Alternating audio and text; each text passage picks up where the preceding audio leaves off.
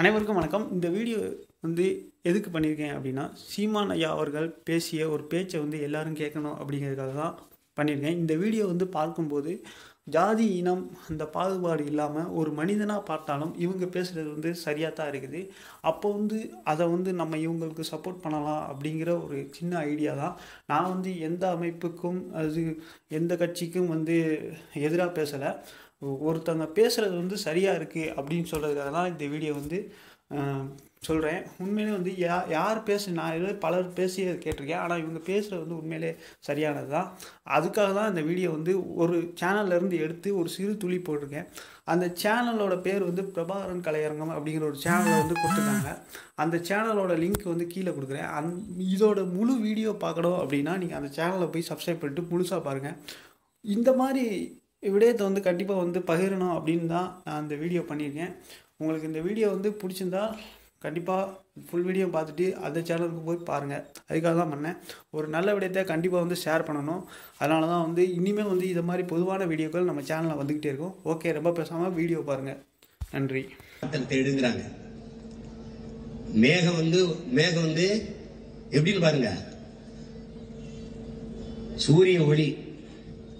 அதுல கடல் நீர் வெப்பமாயி நீராவியாகி மேல போகுது. உடனே மேகம் ஆகிறது இல்ல அதுக்கு அடர்த்தி இல்ல கணம் இல்ல. அப்ப மறுபடியும் என்ன செய்யுது? மனித உடல் பறவைகளின் உடல் விலங்குகளின் உடல் மரங்களின் வியர்வை இதெல்லாம் சேர்ந்து ஆவியாகி மேல போகுது. அப்ப அந்த ஏற்கனவே இருக்கிற நீராவியோட இது போய் சேருது. காற்று மண்டலத்தில் சுத்தி இருக்கிற தூசி அந்த கரி இதெல்லாம் சேர்ந்து மேகமாக உருவெடுக்குது.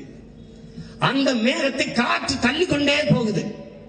தள்ளிக்கொண்டே போய் ஒரு இடத்துல ஒருத்தர் தடுத்து நிறுத்துறாரு. அவர் யாருன்னா அவர் தான் மலை. இப்ப எங்களுக்கு கடல் இருக்கு. ஆனா நாங்க மழைப்பொழிவை பெற முடியல. ஏன்னா எங்களுக்கு மலைகள் இல்லை.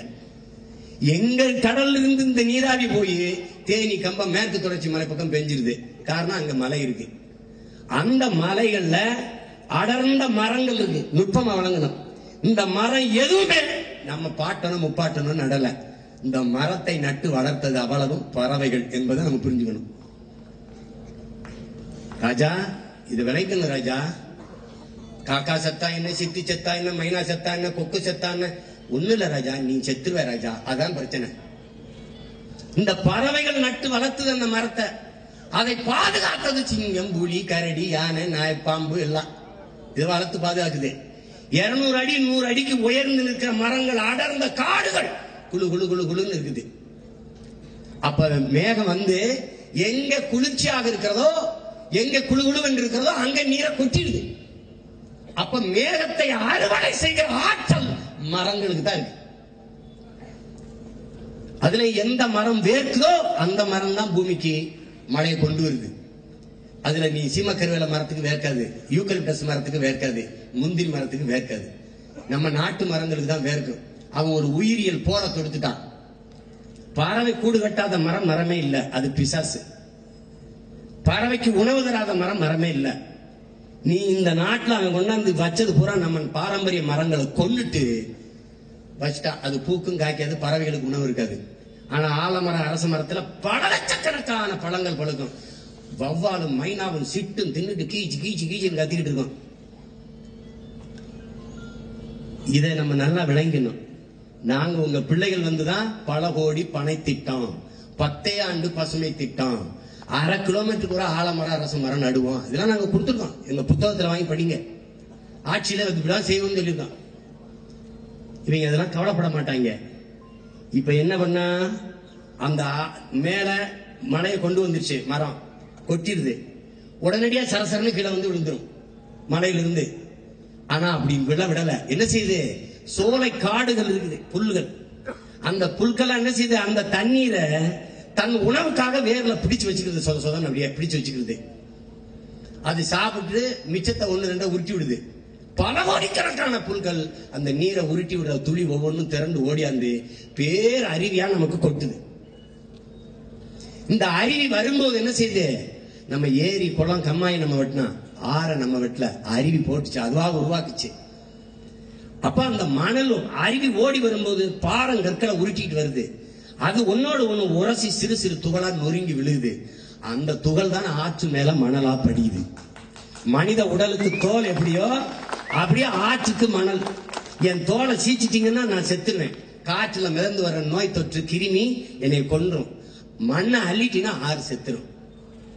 ஆறு செத்துருச்சு எப்படி தெரியும்? ஆத்து கரையிலே இருக்கிற பனையும் நெஞ்சு செத்துருச்சு ஏன் ஆறு செத்துருச்சு? இது நல்லா விளங்கினது. ஓட்டுக்காக நிக்கிறவன் இதை பேச மாட்டான். இது கத்துக்கணும். இவங்க சொல்லுவாங்க ஆத்து மணல் அல்லாமல் எப்படி வீடு கட்டுறது? தமிழ்நாட்டுல வாழ்ற மக்களின் வீடு கட்டுறதுக்கு தான் மண்ணால் நீல அதுக்கு தான் முப்பத்தி ரெண்டு ஆறையும் தின்னு முடிச்சுல? துபாய்க்கு அனுப்பல? பிற மாநிலங்களுக்கு விற்கல வெளிநாட்டில் ஒண்டி கோடி கோடியா விற்கல கேரளால பாலாற்று மணல் இங்கே இங்கே தாமிரபரணி ஆற்று மணல் கிடைக்கும். எல்லாம் முப்பத்தி மூணு கிலோமீட்டர் ஓடி வருது. பாலாறு ஆந்திராக்குள்ள முப்பத்தி மூணு கிலோமீட்டர். இருபத்தஞ்சு தடுப்பணை கட்டிருக்கான் முப்பத்தி மூணு கிலோமீட்டர்ல அஞ்சு கிலோமீட்டருக்கு ஒரு தடுப்பணை போதுமானதுங்கிறான். ஆனா அவன் முப்பத்தி மூணு கிலோமீட்டர்ல இருபத்தஞ்சு தடுப்பணை கட்டிருக்கான் நூத்தி முப்பத்தி மூணு கிலோமீட்டர் ஓடியாருது நம்ம நம்ம நாட்டுக்குள்ள. ஒரு தடுப்பணை இல்லை. இவன் துணையத்தான் பல கட்டுவானே அணையெல்லாம் கட்ட மாட்டான் ராஜா. ஒரு துணையும் கட்டாதவர் பல அணையை கட்டிட்டு போனாரு. காமராஜர். இவன் பல துணையை கட்டிட்டு அணையை கட்டது விட்டான். இது ஆத்து மணலை தின்னாச்சு. பத்மாசுரன் சிவபெருமான்ட்ட வரத கேட்கிறான். யார் தலைகளை கை வச்சால அவன் அப்படியே சாம்பலாயிருந்துட்டு இவர் தந்தைன்றது கடைசி என்ன ஆயிருது நீ கொடுத்த வரம் பழிக்குதா இல்லையான்னு பார்ப்போம் உன் தலையில கை வச்சு பார்ப்போம்ன்றான். அந்த கதையா கரமென நீண்ட பூமித்தாயின் மரங்களை வெட்டினான். ரத்த நாளங்களாக ஓடுகிற நதியை அள்ளி தின்னான். தலையென உயர்ந்து நிற்கும் மலையை இப்ப நொறுக்கிறான். இப்ப ஆத்து மணலை வித்து தின்னாச்சு. கடைசியா மலை மணல் என் சாண்டு இங்கிலீஷ்ல பேர் வச்சுட்டான். என் சாண்டு மலையில் இருந்துதான் உனக்கு அருவி அருவிதான் ஆறு. ஆறுதான் நீரு. நீருதான் சோறு. வயிறு உயிர் வாழ்க்கை. இதை நல்லா புரிஞ்சுக்கணும். இப்ப மலையை நொறுக்கிறான் நாங்க குவாரி வச்சிருக்கோம். பெரிய வெங்காய விரு இவன் பாட்டம் தர் பல லட்சம் ஆண்டுகளுக்கு பல கோடி ஆண்டுகளாக இயற்கை உனக்கு கொடையாக கொடுத்தது. ஆறு மணல் மலை. உன்னால மணலை உருவாக்க முடியாது ராஜா. உன்னால மலைகளை உருவாக்க முடியாது. உன்னால உருவாக்க முடியாத நீ அழிக்க கூடாது அழிக்க கூடாது அண்ணல் காந்தியடிகள் இங்க சில இருக்கு. என்ன கற்பிக்கிறாரு?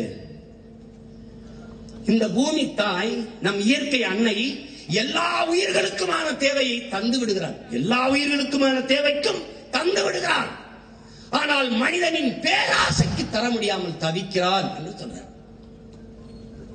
புத்தன் என்ன கற்பிக்கிறான் ஒரு பூவில் தேனை உண்ண வருகிற வண்டு அந்த பூவுக்கு எந்த சேதத்தையும் ஏற்படுத்தாமல் தேனை உண்டு திரும்புவது போல மனிதர்கள் நீங்கள் இயற்கையை பயன்படுத்திக்கணுங்கிறது. ஆனா எப்படி பண்றான்? எப்படி இருக்கு பாருங்க. மலையை நொறுக்கிறான். இவனால் உருவாக்க முடியுமா? நம்ம தாத்தன் பாட்டெல்லாம் வீடு கட்டி வாழலையா? இப்படி ஆத்து மணல் அள்ளி திண்டு மலையை நொறுக்கி வச்சு போனானா? உனக்கு என்ன கோடி கோடியா வங்கியில பணம் போட்டானா? இல்ல ஆடிக்காரன் அம்பாக்காரன் உனக்கு ஒரு கோடி கார் வச்சு போனானா? இல்ல அவன் உனக்கு ஏரி அப்படியே வச்சான் கம்மாயை அப்படியே வச்சான் மரத்தை அப்படியே வச்சான் மலைகளை அப்படியே வச்சுட்டு போனான். ஏன்? இந்த உலகம் ஒண்ணுது இல்ல வருங்கால தலைமுறையில் வருங்கால சந்ததியினரோடது. நீ வாடகைக்கு வாங்கி வாழ்ந்து கொண்டிருக்க